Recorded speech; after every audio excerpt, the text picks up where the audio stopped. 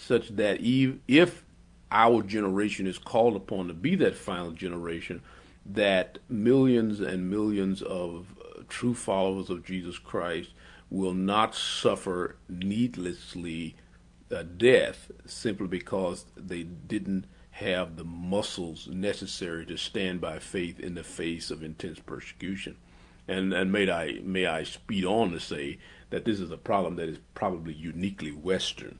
Uh, the, churches of Europe uh, and Africa and Asia have been persecuted and have lived in the terror of their faith for decades and would have very little um, of a significant change in their life uh, if we went into that final period. They know how to endure under intense persecution.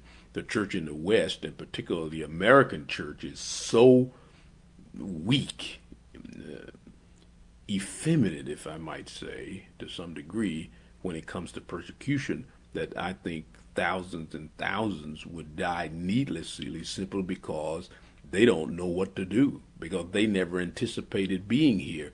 They wouldn't claim the scripture. They wouldn't stand on the promises because they didn't think they were going to have to.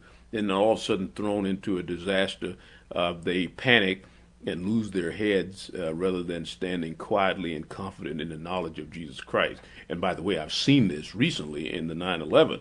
I saw how Christians panicked and went to pieces and uh, were were not able to stand in the confidence and the quietness of their faith simply because they never thought it would happen. And I suppose the normalcy fallacy uh, would apply here that hey, it's so bad we never thought it would happen. We can't believe it, and they go into denial and they go into self-preservation and some of these other issues rather than doing as Christ instructed for His believers to do, which is to stand by faith and trusting in the sovereign will of God, that God has it under control, that He has His people in His hand, and that nothing can touch us that He does not allow by His own sovereign election. That, I suppose, is the great problem.